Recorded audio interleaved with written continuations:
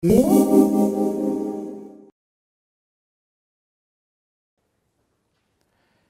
un placer tener aquí hoy el profesor eh, Fuster. Juan Fuster es eh, em, profesor de investigación en el, del CSIC, en el IFIC de Valencia. El IFIC es el Instituto de Física Corpuscular de Valencia y mm, miembro de una de las más grandes eh, colaboraciones experimentales eh, en el CERN de Ginebra, que es LHC, donde se encontró la partícula de Higgs en 2012. La razón por la cual eh, Juan está aquí hoy es porque tiene que dar una charla en el marco de eh, un proyecto europeo que es una red que une físicos de partículas de, todo, de todo el mundo, o por lo menos de Europa. Y mm, el título de su charla, que es una charla pública, es eh, Retos científicos y tecnológicos de la física de partículas tras el descubrimiento del bosón de Higgs. Y hoy vamos a hacerle algunas preguntas para que también los expertos de física de partículas puedan entender lo de qué se trata y cuál es eh, la importancia de todas estas cosas. Entonces, la primera pregunta es obvia. ¿Cuál es la relevancia del bosón de Higgs? Bueno, eh, Roberto, primero pues eh, agradecer a la, Universidad de Granada pues, la invitación para venir aquí pues, a, contaros pues, eh, un poco pues, la, la, situación en la que se encuentra la física de partículas y, un poco pues, hacer un poco de divulgación de nuestro campo. la relevancia del, del bosón de Higgs eh, todo empieza, digamos, en, el modelo estándar. El modelo estándar eh, es, es quizás una de las creaciones intelectuales del pasado siglo de mayor relevancia en el mundo científico. Ha llevado mucho tiempo y mucho esfuerzo el completarlo, eh, más de 50 años, tanto en, con contribuciones tanto a nivel teórico como experimental, y en esos, eh, digamos, desde que se predijo este, este modelo, eh, había una partícula siempre muy esquiva, pero que era fundamental realmente para, para que este modelo estándar eh, nos convenciera de que era realmente el que explica bien el comportamiento de la física de partículas del mundo subatómico. Y, este, y esta partícula era el bosón de Higgs. Eh, entonces, eh, con el bosón de Higgs eh, hemos completado, con el descubrimiento del bosón de Higgs, hemos completado, digamos, esa descripción y ahora sabemos que, tenemos un modelo completo donde podemos hacer predicciones fiables, donde podemos intuir cuáles son los procesos y calcularlos de una manera, pues, digamos, muy, precisa y cuantificada.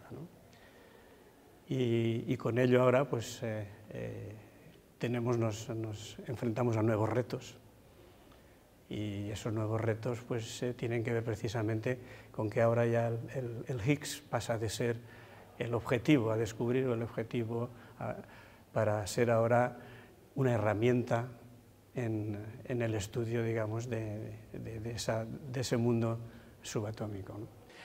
Entonces, eh, uno podría tener, digamos, la, duda que con el descubrimiento del bosón de Higgs la física de partículas acabara, porque siempre eh, se ha dicho que era la última partícula que faltaba. Entonces, ¿significa eso que con su descubrimiento eh, se cierra la física de partículas o no?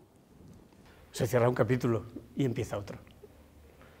el, el modelo estándar explica bien todo, digamos, el comportamiento que los experimentos, eh, eh, los datos de los experimentos eh, nos reproducen, pero digamos que en la descripción del universo hay cosas que se escapan de este modelo estándar. nuestro modelo estándar en esto no es capaz, por ejemplo, de dar una explicación sobre la naturaleza de la materia oscura, que es algo que sabemos que existe, que se manifiesta, que digamos que hay efectos que demuestran la existencia de esa materia oscura. Sin embargo, para este tipo de materia, el modelo estándar no tiene una, una explicación ni una respuesta, con lo cual eh, es algo que habrá que incorporar a este modelo estándar pues con una teoría que, digamos, que, que, explique lo que ya explica el modelo estándar más aquello que deja de, de poder argumentar. No solo es la materia oscura, también sabemos pues, que la, eh, vivimos en un universo de materia. Y en nuestros experimentos, cuando trabajamos en, ellos, pues siempre que eh, partimos digamos, de un estado, definámoslo neutro, de la materia se crea casi tanta materia como antimateria.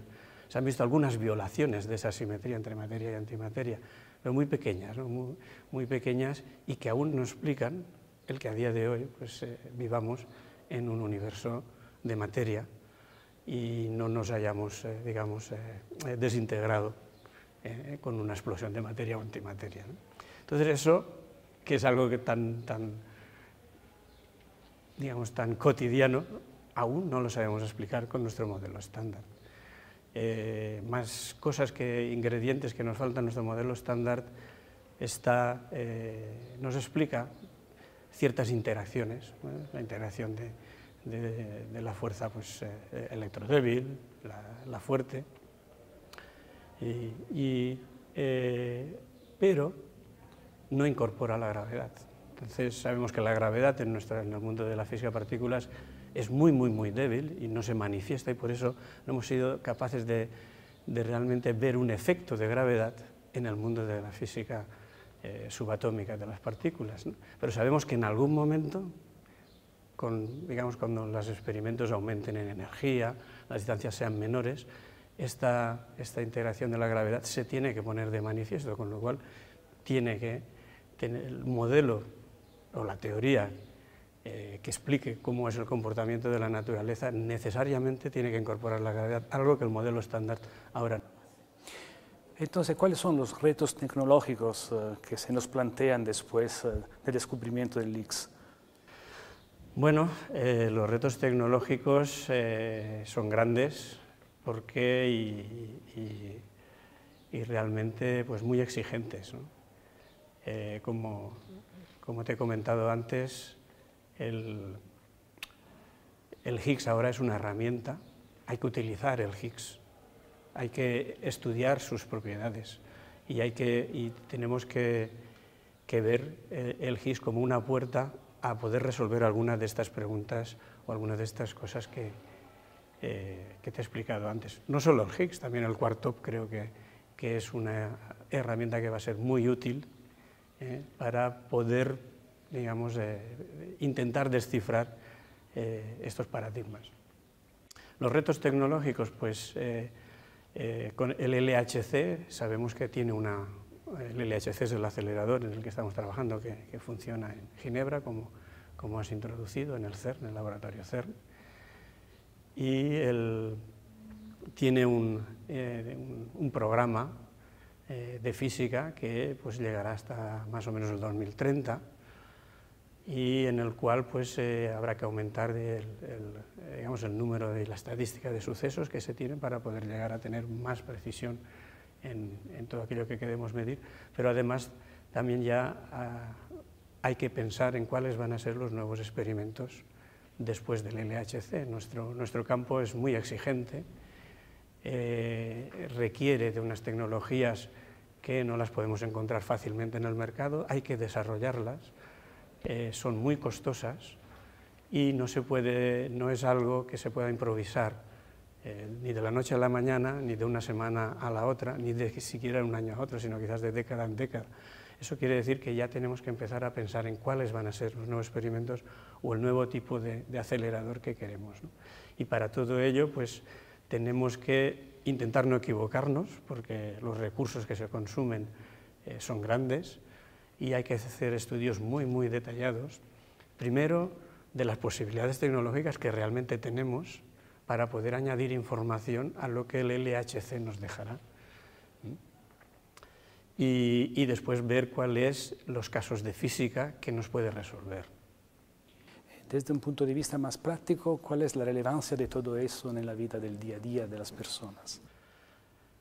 Bueno, eh, yo creo que eh, para mí la relevancia es, muy grande. O sea, la, primera, y que nunca hay que olvidar, porque a veces siempre nos vamos a, las aplicaciones de manera directa o, o, inmediatamente. Yo creo que el, conocimiento es ya un beneficio para la sociedad, es decir, el saber, el, el entender cómo es la naturaleza. Creo que eso es algo que nos, nos equilibra con ella y nos da a entender pues, eh, lo delicado que es, lo, natural que resulta ser y lo difícil que es explicarlo.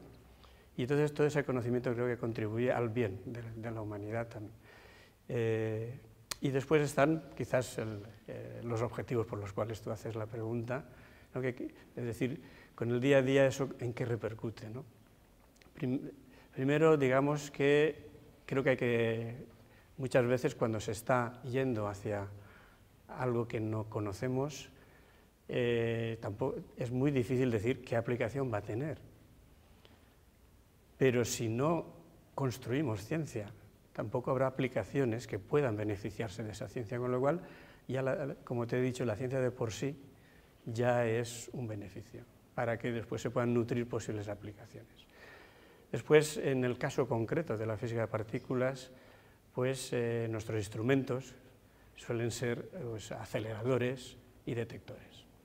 En el caso de, los detectores, pues eh, aplicaciones inmediatas y que, se, que realmente pues, están ahora además con, con una aplicación muy directa, pues es lo, la imagen médica. Eh, nosotros cada vez pues, queremos saber y conocer o poder ver los cuerpos eh, eh, sin, digamos, sin tener una, una interacción con, ellos. Entonces, todas estas partículas y todas estas tecnologías, de alguna manera, nos ofrecen el cuerpo interior y somos capaces de ver cada vez con mayor precisión pues partes internas de, los cuerpos que no son transparentes. ¿eh? entonces es como los rayos X, pues hace 100 años, pues imagínate, ahora realmente se llegan a tecnologías eh, muy, muy, muy depuradas, y todo eso pues tiene aplicación pues, en detecciones eh, de cáncer o, de, digamos, de, prevención de todo tipo de estas enfermedades. Después en, en los aceleradores sí que tiene unas aplicaciones incluso mucho más amplias, no, no solo en tanto en la física médica, es decir, la terapia ya de, de, lo que es eh, la posible detección de, tumores, es decir, cómo tratarlos y cómo eliminarlos, que sí, sino que eh, también en, digamos, en aplicaciones más industriales, eh, incluso de seguridad, es decir, mediante aceleradores pues podemos ver los coches por dentro, podemos hacer radiografías de, digamos, de, automóviles, de coches, de camiones, de, montañas, incluso, eh, y, poder ver un poco lo que es internamente la estructura de, esas, de esas cosas. Eh, se utiliza en aviación los aceleradores, se utiliza para, digamos, desarrollar materiales, para, se utiliza en alimentación, para esterilizar los, eh, los alimentos. Eh, en fin, tiene, tiene muchas... Y de hecho, el, el mercado de aceleradores es un mercado que crece, no es ninguna burbuja ni nada, es un mercado que crece, cada vez se utiliza más, cada vez hay más hospitales que quieren tener servicios de aceleradores, cada vez hay más, más aplicaciones y bueno, pues es, es incluso un, mercado y una tecnología que habría que cuidar bastante, y, incluso estratégicamente. Entonces todo parece muy interesante y no me queda que decirte muchas gracias por aceptar dar esta charla en la Universidad de Granada y ha sido un verdadero placer. Gracias. El placer es para mí, gracias.